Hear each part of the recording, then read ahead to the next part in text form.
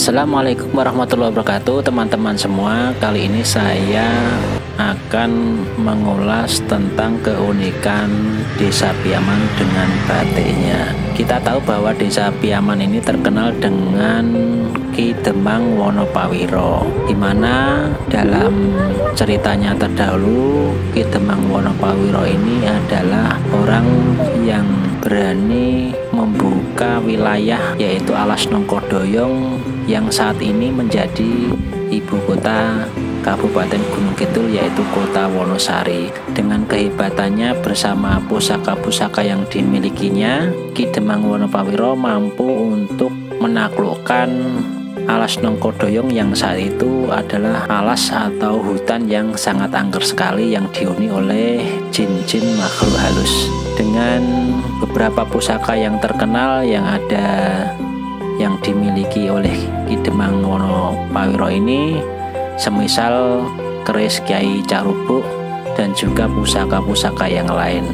Nah, kali ini kita akan melihat produksi dari batik yang mengangkat dari Ki Demang Wonopawiro di mana motif batik ini masih mengambil filosofi dari perjuangan Ki Demang Wonopawiro saat membuka alas Nongkodoyong.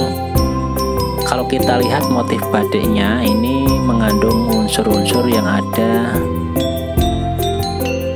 daun nangkanya juga, kemudian unsur melati dari motif-motif ini.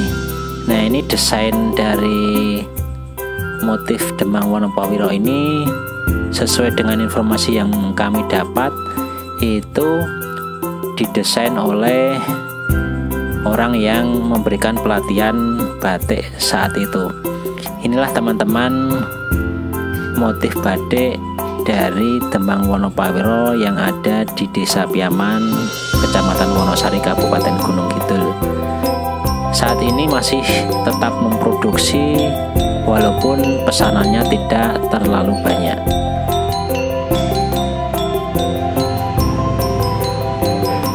Di sini saya melihat secara langsung proses pembuatan batik Demang Wonopawiro ini mulai dari mengecap ya, mengecap dengan menggunakan lilin kemudian sampai dengan yang terakhir ya, pewarnaan juga kemudian dicuci ya, terakhir itu sampai warnanya tidak hilang.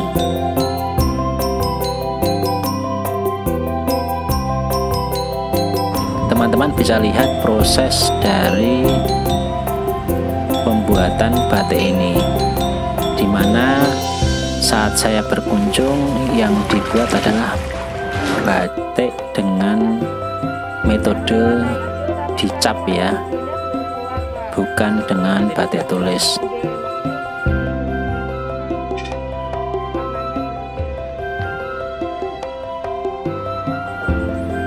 Kalau saya melihat secara langsung ini memang prosesnya untuk membuat pola dari cap itu sesuai dengan informasi itu kemungkinan hanya membutuhkan waktu sekitar 30 sampai satu setengah jam ya.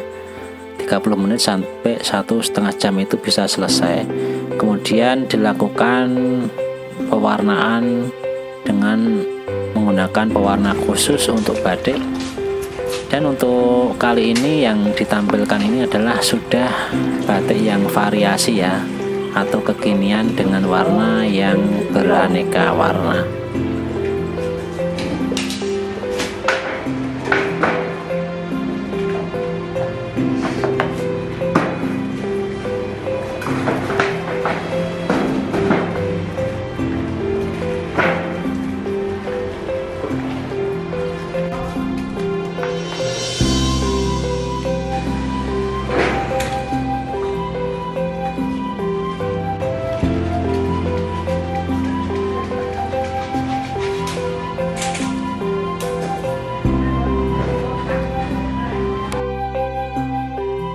Waalaikumsalam warahmatullahi wabarakatuh.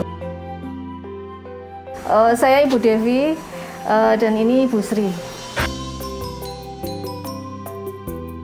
Kalau batik Demang Wonopawiro ini mulai terbentuk sekitar bulan Agustus 2017 ya 2017 itu karena dari inisiatif desa uh, mengadakan pelatihan membatik buat ibu-ibu di Desa Piaman.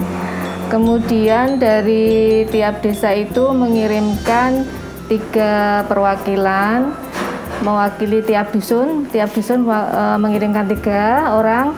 Kemudian kita melakukan pelatihan di balai desa. Pada awalnya kita latihan batik tulis, jadi membuat batik tulis. Kemudian setahun kemudian diadakan lagi pelatihan untuk membuat batik cap. Pada saat eh, pelatihan yang pertama itu tahun 2017 eh, ada inisiatif dari pelatihnya untuk membuat eh, dari desa juga untuk membuat paguyuban uh, batik Demang Wonoprawiro karena kalau tidak dibentuk paguyuban seperti itu nanti takutnya setelah pelatihan ini bubar jadi nggak ada kelanjutannya.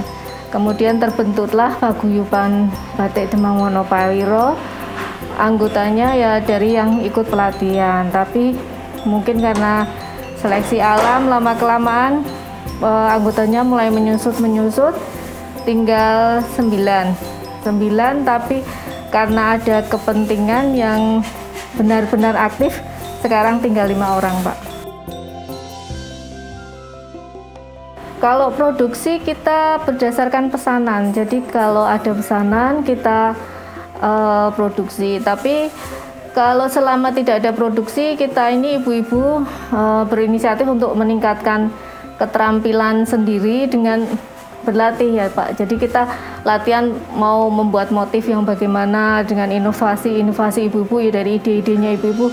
Kita bikin warna yang seperti ini, kita bikin anu. Nah, itu kalau pas tidak ada pesanan, kita tetap berlatih walaupun mungkin hanya seminggu satu kali. Kalau modal awal kita karena kita ini berada di bawah payung desa, desa yang membentuk desa Piaman karena kita ini untuk mengangkat uh, desa Piaman. Jadi modalnya pada awalnya dari desa uh, berupa barang-barang dan uh, capnya itu sendiri kan kita harus pesan cap yang khusus menunjukkan identitas desa Piaman itu dari desa. Kemudian setelah berjalan ada pesanan ada pesanan kita uh, dari uang pesanan itu kita menyisihkan untuk modal produksi, ke, kemudian sebagian lagi kita bagi untuk uang lelah ibu-ibu.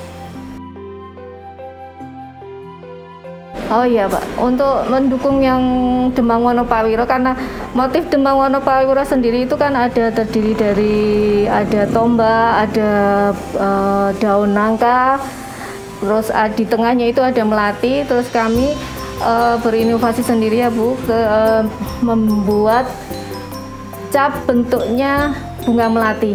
Jadi tidak jauh-jauh dari tema awal Demang Wonopawiro itu sendiri. Kendalanya apa ya? Kalau pesanannya memerlukan panas matahari, terus pesanannya di waktu musim hujan itu agak kendala pak, karena ada pewarna ya seperti indigo sol itu kan harus ada sinar matahari. Baru keluar warnanya nanti. Itu salah satu kendala. Nah itu.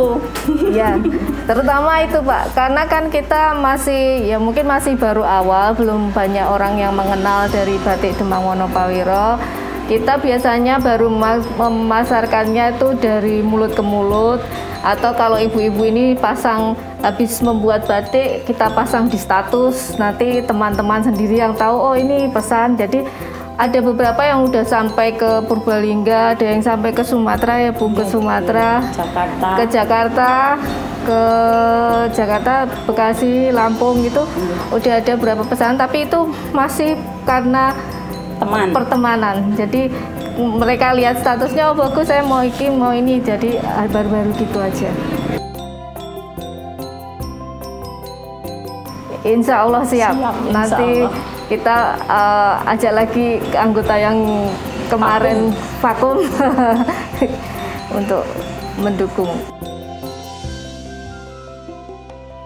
Uh, kalau harapannya batik ini bisa semakin berkembang, bisa uh, ada pesanan paling nggak pesanan rutin. Jadi nanti ibu-ibu itu adalah pemasukan dari batik. Selama ini kan mungkin yang vakum itu karena mungkin terus terang aja ini masih seperti kayak kerja bakti ya Pak. Jadi uangnya tuh nggak seberapa. Ini karena kita mencintai kegiatan ini, jadi kita meneruskan batik ini. Terus itu kalau misalnya nanti kan ada pesanan rutin, insya Allah nanti ibu-ibu yang selama ini vakum mau lagi balik untuk mendukung batik kita. Jadi mereka selain anu kan terus terang aja pasti mengharapkan ada imbalan untuk mereka. Nah, itu kan kita sendiri kendalanya kan belum bisa secara rutin memberikan imbalan karena imbalan kan juga berdasarkan pesanan.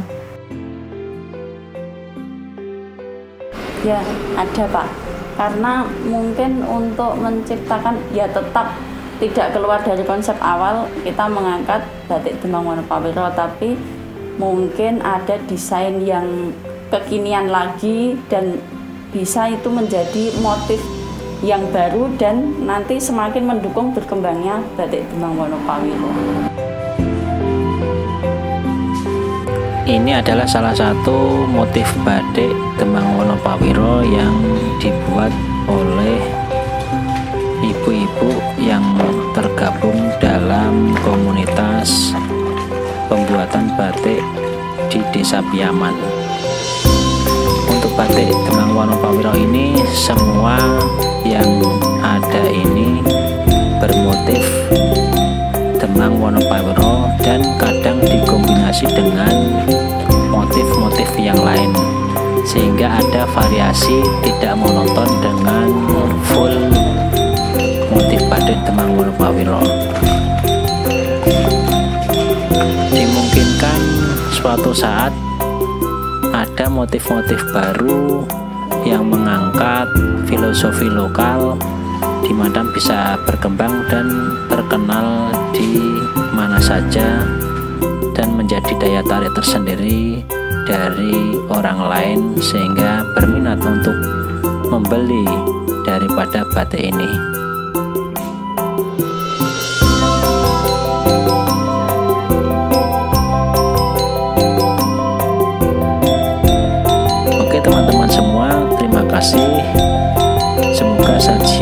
Saya kali ini bermanfaat. Jangan lupa subscribe channel ini. Mudah-mudahan tetap bisa berkembang. Terima kasih. Wassalamualaikum warahmatullahi.